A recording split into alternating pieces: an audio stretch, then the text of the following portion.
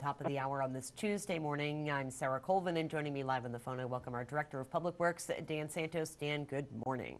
Good morning. How are you today? Good. There's snow in the air. Yes, I guess it's a, we got the report that it's the snow is falling yet again. Um, just want to say, you know, you, you and the crew working so hard, uh, continuously, really not getting a break. Um, tell me a little bit about this most recent uh, storm and, and how the efforts went over the weekend.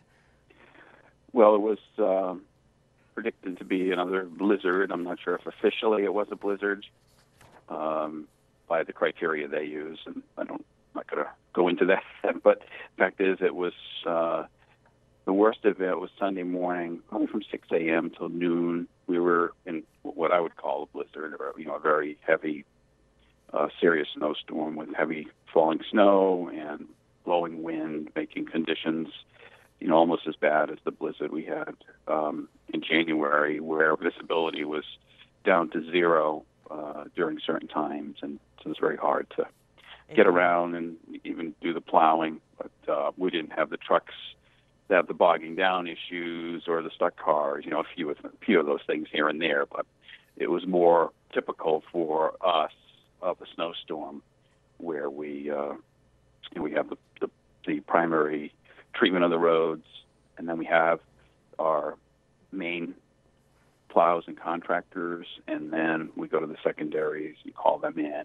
You got through those and, on Sunday, and then uh, back again on Monday to do a second um, a second swipe on all the secondaries and pushing them back to where they the, the width of the roads were pre-storm and you know cleaning up the corners and that. And we got through that yesterday afternoon, the holiday, and then uh, today uh, back in pre-treating the roads uh, early this morning uh, with the sand and salt mix we've been using, the mains, and then uh, standing by for any plowing that may be necessary.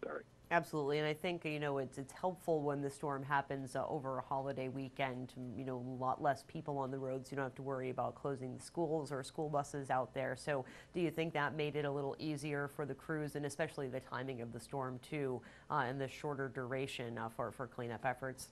Yes, those things are all factors that made it a little easier to deal with. The schools is a big factor. There's a lot of people around with the schools. There's the pressure of getting their lots cleaned and the secondaries passable so you know kids can be safe and the buses can get by. So that definitely um, helped.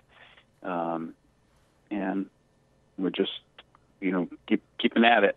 You know, I, I you thanked us and I appreciate that, but I also you know want to thank the uh, all the members of the department, the men and women here that are very dedicated to these efforts. I mean, people are coming in and their still spirits are high, and you know they're not calling in sick and complaining. It's, just awesome. Their their attitudes are good, and and I'm talking everyone from the the, women who answer the phones in my office to the plow drivers. Obviously, they're the face of this, but mechanics.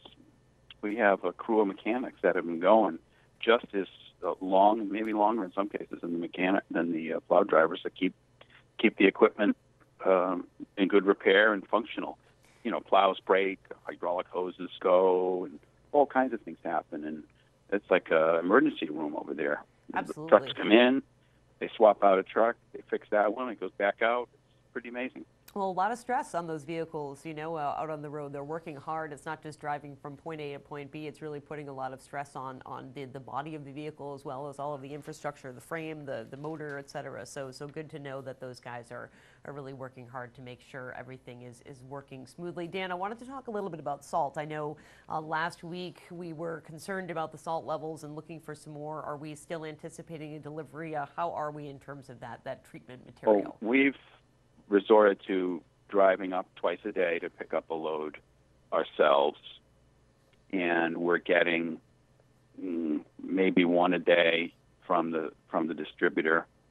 Um, I've got enough salt on order that would take about 150 trucks to give us all the salt we've asked for. So, you know, two or three a day is going to be quite a while before we get built up, and we're basically using, given that the weather keeps providing us with these temperatures and snow, you know, we're using what we're bringing down. But, I think the mains look pretty good. I'm pleased. We're mixing the salt with the sand. It's not it's not the ideal situation, but I think it's been effective, and you know, it's providing for safe roadways.